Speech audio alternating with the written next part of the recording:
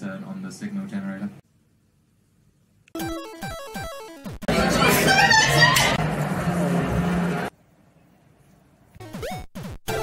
Can that one be wrapped around me, please?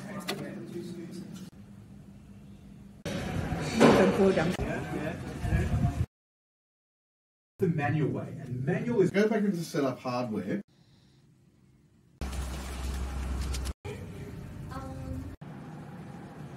Fucking embarrassing. Now I'm going to use touch mode. Because we're in a marquee tower.